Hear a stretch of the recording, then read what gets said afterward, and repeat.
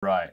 And there are some issues with bear spray that we don't really need to get into, but that's one of them. Another is uh, Wind. wind. Yep. Another is inadvertent activation. I know several people that have done things like swung a saddle into the back of a truck with bear spray sta strapped to the saddle horn and had it go off and hit them in the face. Oh.